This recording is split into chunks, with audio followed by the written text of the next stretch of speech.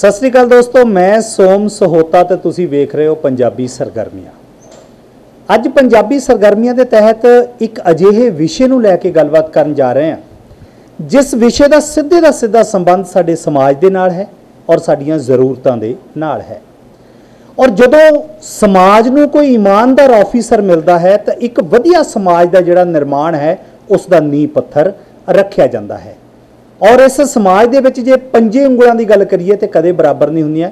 ਔਰ ਜਿੱਥੇ ਜਿੱਥੇ ਭ੍ਰਿਸ਼ਟਾਚਾਰੀ ਹੈ ਔਰ ਉੱਥੇ ਉੱਥੇ ਇਮਾਨਦਾਰੀ ਵੀ ਆਪਣਾ ਪੂਰੀ ਤਰ੍ਹਾਂ ਰੋਲ ਨਿਭਾਉਣ ਵਿੱਚ ਲੱਗੀ ਹੋਈ ਹੈ। ਅੱਜ ਜਿਸ ਆਫਿਸ ਦੇ ਵਿੱਚ ਅਸੀਂ ਬੈਠੇ ਹਾਂ, ਇੱਕ ਅਜਿਹੇ ਇਮਾਨਦਾਰ, ਚੰਗੀ ਸੋਚ ਵਾਲੇ ਔਰ ਜਿਨ੍ਹਾਂ ਦੀ ਸੋਚ ਦਾ ਸਭ ਤੋਂ ਵਧੀਆ ਪੋਜ਼ਿਟਿਵ ਨਤੀਜਾ ਇਹ ਹੁੰਦਾ ਹੈ ਕਿ ਜਦੋਂ ਵੀ ਮੈਂ ਕੋਈ ਕੰਮ ਕਰਾਂ ਉਸ ਦਾ ਸਿੱਧੇ ਦਾ ਸਿੱਧ ਸੰਬੰਧ ਸਮਾਜ ਨਾਲ ਹੋਵੇ, ਸਮਾਜ ਦੇ ਉਹਨਾਂ ਲੋਕਾਂ ਨਾਲ ਹੋਵੇ, ਜੋ ਜ਼ਰੂਰਤ ਮਹਿਸੂਸ ਕਰਕੇ ਕਿਸੇ ਆਫਿਸ ਵਿੱਚ ਐਂਟਰ ਕਰਦੇ ਨੇ। ਉਸ ਜਗ੍ਹਾ ਬੈਠੇ ਹਾਂ, ਜਿਸ ਦੀ ਜੇ ਆਪਾਂ ਕਹੀਏ ਕਿ ਪਿਛਲੇ ਕੁਝ ਦਿਨਾਂ ਦੀ ਜਾਂ ਪਿਛਲੇ ਕੁਝ ਮਹੀਨਿਆਂ ਦੀ ਜਾਂ ਕੁਝ ਸਾਲਾਂ ਦੀ ਇਸ ਦਫ਼ਤਰ ਦੀ ਜਿਹੜੀ ਬੁਨਿਆਦ ਹੈ, ਉਹ ਕਿਤੇ ਨਾ ਕਿਤੇ ਡਾਮਾਡੋਲ ਸੀ। ਅਕਾਲ ਪੁਰਖ ਨੇ ਇੱਕ ਅਜਿਹੇ ਸ਼ਖਸ ਦੀ ਡਿਊਟੀ ਲਾਈ ਹੈ ਔਰ ਜਿਨ੍ਹਾਂ ਦੀ ਡਿਊਟੀ ਦੇ ਸਦਕਾ ਅੱਜ ਉਹੀ ਜਗ੍ਹਾ ਇੱਕ ਵਾਰ ਫਿਰ ਬਰਕਰਾਰ ਹੋਈ ਪਈ ਹੈ। ਇੱਕ ਇਮਾਨਦਾਰ ਇੱਕ ਚੰਗੀ ਸੋਚ ਦੇ ਮਾਲਕ ਜਿਸ ਨੂੰ ਮਾਲਕ ਨੇ ਸੇਵਾ ਦਾ ਮੌਕਾ ਦਿੰਦਾ ਹੈ ਔਰ ਬ੍ਰਾਂਚ ਮੈਨੇਜਰ ਬਲਵਿੰਦਰ ਸਿੰਘ ਮਾਨ ਜੀ ਮੇਰੇ ਨਾਲ ਜੁੜੇ ਹੋਏ ਨੇ। ਉਹਨਾਂ ਨਾਲ ਪੂਰੀ ਗੱਲਬਾਤ ਕਰਦੇ ਹਾਂ ਕਿ ਜਦੋਂ ਤੁਸੀਂ ਇੱਥੇ ਆਏ ਸੀ ਤਾਂ ਕੀ ਮਾਹੌਲ ਸੀ ਔਰ ਇਸ ਮਾਹੌਲ ਨੂੰ ਕ੍ਰੀਏਟ ਕਰਨ ਵਾਸਤੇ ਤੁਹਾਨੂੰ ਕਿੰਨੀ ਮਿਹਨਤ ਕਰਨੀ ਪਈ। ਮਾਨ ਸਾਹਿਬ, ਸਭ ਤੋਂ ਪਹਿਲਾਂ ਬਹੁਤ ਬਹੁਤ ਸਵਾਗਤ ਹੈ। ਸਤਿ ਸ਼੍ਰੀ ਅਕਾਲ ਜੀ। ਤੁਹਾਡਾ ਮੈਂ ਸਵਾਗਤ ਕਰਦਾ।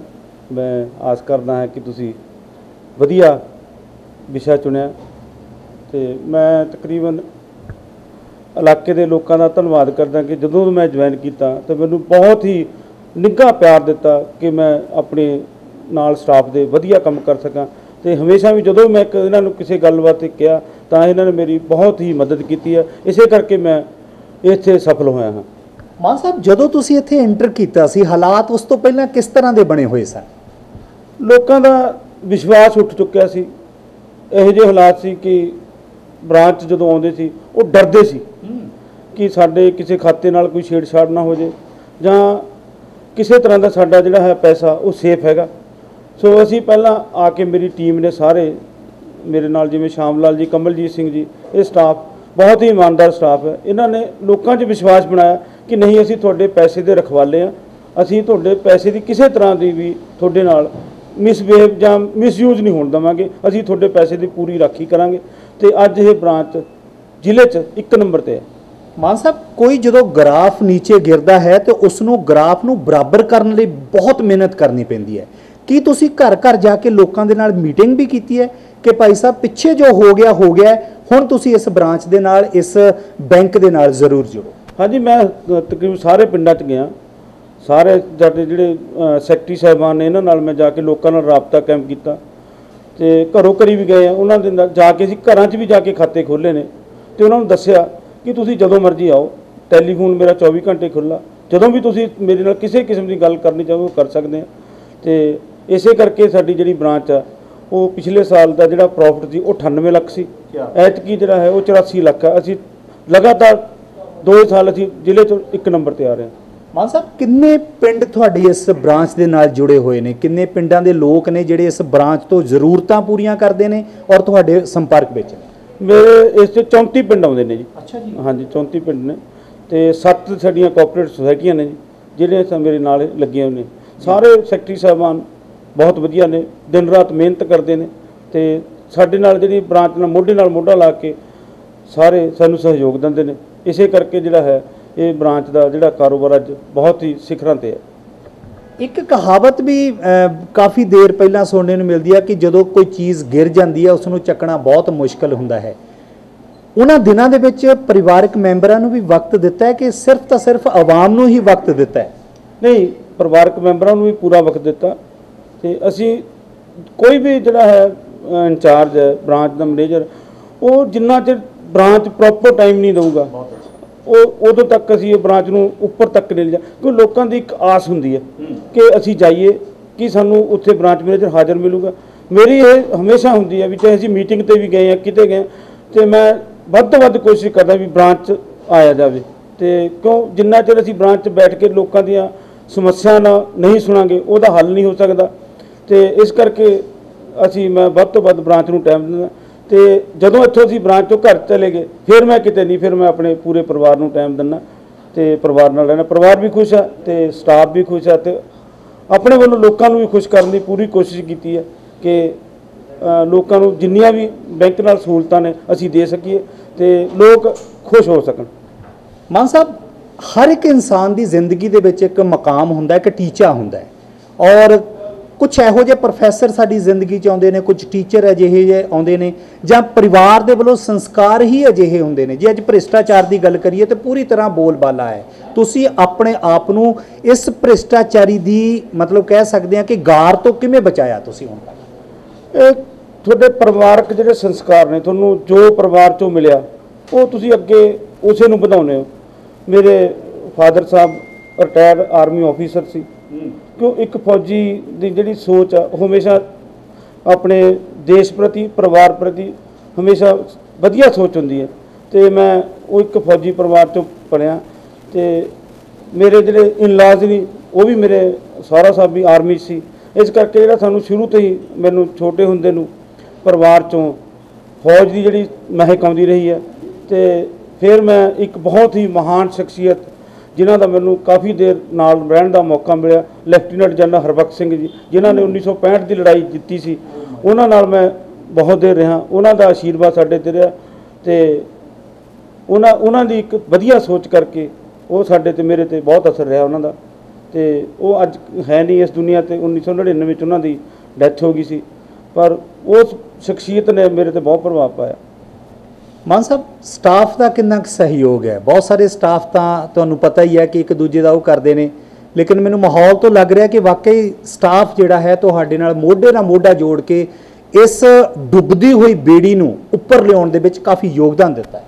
ਹਾਂ, ਮੇਰਾ ਸਟਾਫ ਇੱਕ ਬਹੁਤ ਵਧੀਆ ਸਟਾਫ ਹੈ ਜੀ। ਕੋਈ ਵੀ ਜਿਹੜਾ ਹੈ ਸੰਸਥਾ ਜਾਂ ਕੋਈ ਵੀ ਇੱਕ ਘਰ ਵੀ ਹੈ ਜੇ ਆਪਾਂ ਸਾਰੇ ਪਰਿਵਾਰ ਨੂੰ ਕਲੈਕਟਿਵ ਹੋ ਕੇ ਨਹੀਂ ਰੱਖਾਂਗੇ ਨਹੀਂ ਚਲਾਵਾਂਗੇ ਤਾਂ ਉਹ ਪਰਿਵਾਰ ਵੀ ਨਹੀਂ ਚੱਲਦਾ। ਇਸੇ ਕਰਕੇ ਜਿੰਨਾ ਤੁਸੀਂ ਪਿਆਰ ਆਪਣੇ ਸਟਾਫ ਨੂੰ ਕਰੋਗੇ ਉਨਾ ਹੀ ਸਟਾਫ ਤੁਹਾਨੂੰ ਵੱਧ ਕੰਮ ਕਰਕੇ ਦੇਊਗਾ। ਇਮਾਨਦਾਰ ਸਟਾਫ ਹੈ। ਅਸੀਂ ਸਾਰੇ ਵੈਸੇ ਕੋਈ ਪ੍ਰੋਬਲਮ ਨਹੀਂ ਹੈ। ਬਹੁਤ ਵਧੀਆ ਲੋਕਾਂ ਦੀ ਸੇਵਾ ਕਰਦੇ ਨੇ। ਵਧੀਆ ਛਵੀ ਲਾਕਡਾਊਨ ਦੇ ਦਿਨਾਂ ਦੇ ਵਿੱਚ ਕਿਸ ਤਰ੍ਹਾਂ ਦਾ ਪਿਆਰ ਮਿਲਿਆ ਤੁਹਾਨੂੰ ਇਸ ਏਰੀਆ ਦੇ ਵਿੱਚੋਂ? ਕੁਝ ਕੰਡੀਸ਼ਨਾਂ ਵੀ ਹੈ ਕਿ ਡਿਸਟੈਂਸ ਰੱਖਣਾ ਕਿ ਆਵਾਮ ਨੂੰ ਜਿਸ ਤਰ੍ਹਾਂ ਦੀ ਤੁਸੀਂ ਰਿਕੁਐਸਟ ਕਰਦੇ ਸੀ, ਬੇਨਤੀ ਕਰਦੇ ਸੀ, ਉਹਨਾਂ ਨੇ ਤੁਹਾਡੀਆਂ ਕਈਆਂ ਗਈਆਂ ਗੱਲਾਂ ਤੇ ਫੁੱਲ ਚੜਾਇਆ ਔਰ ਬਹੁਤ ਸਾਰੇ ਲੋਕ ਉਤਾਵਲੇ ਵੀ ਹੋ ਜਾਂਦੇ ਨੇ?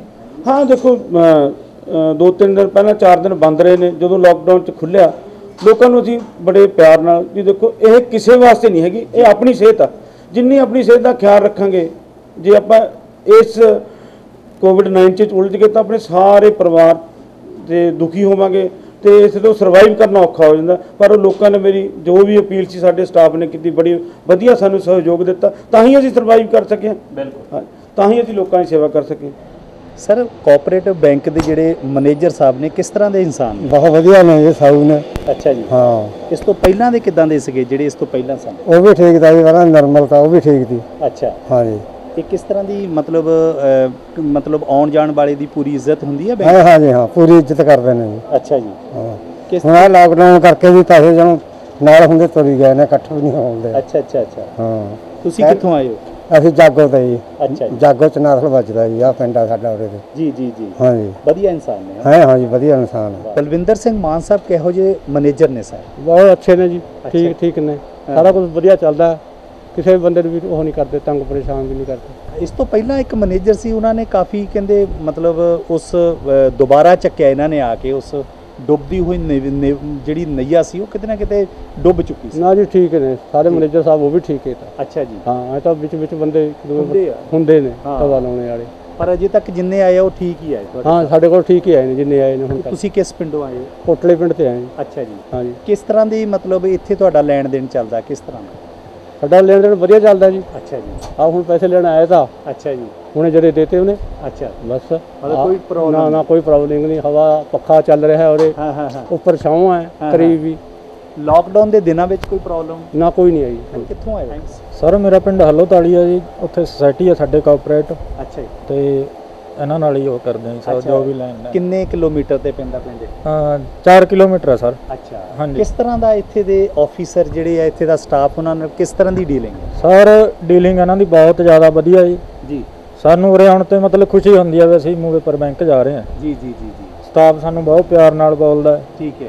ਮਤਲਬ ਹੁਣ ਲੋਕਡਾਊਨ 'ਚ ਸਾਨੂੰ ਕੋਈ ਪ੍ਰੋਬਲਮ ਨਹੀਂ ਆਈ ਹੈਗੀ ਜਿਵੇਂ ਬੈਂਕਾਂ ਮੂਰੇ ਇੰਨੇ ਰਸ਼ ਸੀਗੇ ਉਹ ਸੀਗੇ ਇਹਨਾਂ ਨੇ ਇੰਨਾ ਵਧੀਆ ਸਿਸਟਮ ਰੱਖਿਆ ਹੋਇਆ ਸੀਗਾ ਮਤਲਬ ਸਾਨੂੰ ਕੋਈ ਕਿਸੇ ਵੀ ਕਿਸਮ ਦੀ ਕੋਈ ਵੀ ਪ੍ਰੋਬਲਮ ਨਹੀਂ ਆਈ। ਵੈਰੀ ਹਾਂਜੀ ਸਰ। ਵੈਰੀ ਗੁੱਡ ਮਤਲਬ ਜੇ ਇਸ ਤੋਂ ਪਹਿਲਾਂ ਦੀ ਗੱਲ ਕਰੀਏ ਤਾਂ ਪਹਿਲਾਂ ਕਹਿੰਦੇ ਕੁਝ ਕਾਫੀ ਇੱਥੇ ਬੈਂਕ ਦੇ ਵਿੱਚ ਠੀਕ ਨਹੀਂ ਸੀ। ਸਰ ਪਹਿਲਾਂ ਤਾਂ ਸੱਚੀ ਗੱਲ ਹੈ ਬੈਂਕਾਂ ਨੂੰ ਨਹੀਂ ਦਿਲ ਕਰਦਾ ਸੀਗਾ ਉਰੇ। ਇੰਨਾ ਜ਼ਿਆਦਾ ਮਾਹੌਲ ਉਹ ਸੀਗਾ। ਉਸ ਤਰ੍ਹਾਂ ਦਾ ਸੀ। ਹਾਂਜੀ ਹਾਂਜੀ ਔਰ ਹਾਂਜੀ ਜਿੱਥੇ ਪਿਆਰ ਕੰਮ ਮਿਲੇ ਉੱਥੇ ਹਰ ਇੱਕ ਦਾ ਦਿਲ ਹਾਂਜੀ ਹਾਂਜੀ ਸਰ ਉੱਥੇ ਬਿਲਕੁਲ ਦਿਲ ਕਰਦਾ ਜੀ। ਹੁਣ ਮੇਰਾ ਸਾਰੀ ਅਕਾਊਂਟ ਹੀ ਉਰੇ ਆਈ ਮੈਂ ਹੋਰ ਸਾਰੀਆਂ ਬੈਂਕਾਂ ਤੋਂ thank you sir thank you hello ਤੁਹਾਡੀ ਸੁਸਾਇਟੀ ਅੱਛਾ ਕੀ ਨਾਮ ਕੀ ਤੁਹਾਡਾ? ਲਾਭ ਸਿੰਘ।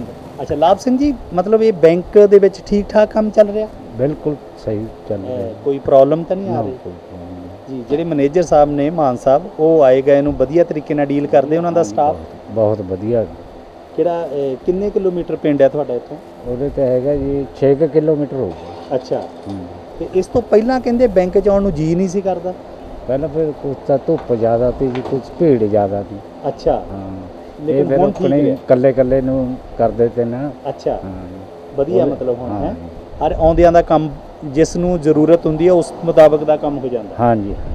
ਬਿਲਕੁਲ ਦੋਸਤੋ ਅੱਜ ਪੰਜਾਬੀ ਸਰਗਰਮੀਆਂ ਦੀ ਟੀਮ ਕੋਆਪਰੇਟਿਵ ਬੈਂਕ ਦਾ ਔਰ ਸਾਨੂੰ ਬੜੀ ਇਸ ਗੱਲ ਦੀ ਖੁਸ਼ੀ ਹੈ ਕਿ ਇੱਥੋਂ ਦੇ ਜਿਹੜੇ ਬ੍ਰਾਂਚ ਮੈਨੇਜਰ ਨੇ ਸਰਦਾਰ ਬਲਵਿੰਦਰ ਸਿੰਘ ਮਾਨ ਸਾਹਿਬ ਜਿਨ੍ਹਾਂ ਦੀ ਸ਼ਖਸੀਅਤ ਬਾਰੇ ਮੈਨੂੰ ਕਾਫੀ ਲੋਕਾਂ ਤੋਂ ਪਤਾ ਲੱਗਾ ਕਿਉਂਕਿ ਜਦੋਂ ਵੀ ਅਸੀਂ ਕੋਈ ਸਟੋਰੀ ਕਰਦੇ ਹਾਂ ਤਾਂ ਉਸ ਦੀ ਸ਼ਖਸੀਅਤ ਦੀ ਬੈਕਗ੍ਰਾਉਂਡ ਉਸ ਦੇ ਬਾਰੇ ਜ਼ਰੂਰ ਅਸੀਂ ਕੁਝ ਨਾ ਕੁਝ ਸਰਚ ਕਰਨ ਦੀ ਕੋਸ਼ਿਸ਼ ਕਰਦੇ ਹਾਂ। ਮਾਨ ਸਾਹਿਬ ਜਾਂਦੇ ਜਾਂਦੇ ਕੀ ਕਹਿਣਾ ਚਾਹੁੰਦੇ ਹੋ ਮੈਂ ਲੋਕਾਂ ਨੂੰ ਇਹੀ ਅਪੀਲ ਕਰਦਾ ਵੀ ਜਿਵੇਂ ਤੁਸੀਂ ਮੈਨੂੰ ਅਹ, 17 ਤੋਂ ਮੈਂ ਇੱਥੇ ਲੱਗਿਆ ਇਵੇਂ ਮੈਨੂੰ ਸ- ਸਹਿਯੋਗ ਦਿਓ ਅਸੀਂ ਬ੍ਰਾਂਚ ਨੂੰ ਹੋਰ ਉੱਤੇ ਲੈ ਚੱਲੀਏ ਤਾਂ ਕਿ ਜਿਹੜਾ ਪੰਜਾਬ ਚੋਂ ਇਸ ਮੂਲੇ ਪਰ ਬ੍ਰਾਂਚ ਦਾ ਜਿਹੜਾ ਨਾਂ ਸਭ ਤੋਂ ਉੱਪਰ ਰਹੇ।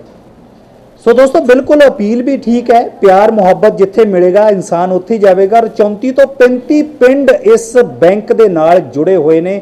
ਔਰ ਘਰ ਦੇ ਵਿੱਚ ਪੰਜ ਮੈਂਬਰ 2-4 ਮੈਂਬਰ ਹੋਣ ਤਾਂ ਉਹਨਾਂ ਨੂੰ ਸੰਭਾਲਣਾ, ਲੇਕਿਨ ਵਾਕਈ ਇਹ ਬੜੀ ਬਖਸ਼ਿਸ਼ ਹੈ ਇਹਨਾਂ ਦੀ ਕਿ ਉਹ ਪੂਰੀ ਦੇ ਪੂਰੀ 34 ਤੋਂ ਪਿੰਡ 35 ਪਿੰਡ ਦੇ ਜਿਹੜੇ ਕਰੀਬ ਹੈ, ਉਹਨਾਂ ਦੇ ਸੰਪਰਕ ਵਿੱਚ ਨੇ। ਔਰ ਉਹਨਾਂ ਨਾਲ ਜਾ ਕੇ ਇਹ ਲੋਕ ਬਕਾਇਦਾ ਤੌਰ ਤੇ ਪ੍ਰੋਬਲਮ ਵੀ ਡਿਸਕਸ ਕਰਦੇ ਨੇ। ਔਰ ਉਹਨਾਂ ਦੀਆਂ ਸਮੱਸਿਆਵਾਂ ਨੂੰ ਹੱਲ ਵੀ ਕਰਦੇ ਨੇ। ਦੋਸਤੋ, ਤੁਹਾਨੂੰ ਅੱਜ ਦਾ ਸਾਡਾ ਇਹ ਐਪੀਸੋਡ ਕਿਸ ਤਰ੍ਹਾਂ ਦਾ ਲੱਗਾ ਹੈ? ਫੀਡਬੈਕ ਜ਼ਰੂਰ ਦੇਣੀ ਹੈ ਔਰ ਅੰਤ ਵਿੱਚ ਮੈਂ ਜ਼ਰੂਰ ਇੱਕ ਗੱਲ ਕਹਿੰਦਾ ਹੁੰਦਾ ਕਿ ਪੰਜਾਬੀ ਸਰਗਰਮੀਆਂ ਨੂੰ ਸਬਸਕ੍ਰਾਈਬ ਕਰੋ ਵੀਡੀਓ ਲਾਈਕ ਕਰੋ ਸ਼ੇਅਰ ਕਰੋ ਤੇ ਨੀਚੇ ਕਮੈਂਟ ਵੀ ਦਿਆ ਕਰੋ। ਜੇਕਰ ਤੁਹਾਡੇ ਏਰੀਆ ਦੇ ਵਿੱਚ ਵੀ ਕੋਈ ਇਹੋ ਜਿਹਾ ਇਮਾਨਦਾਰ ਆਫੀਸਰ ਹੈ ਤੇ ਸਾਨੂੰ ਦਿੱਤੇ ਹੋਏ ਨੰਬਰਾਂ ਤੇ ਜ਼ਰੂਰ ਸੰਪਰਕ ਕਰੋ।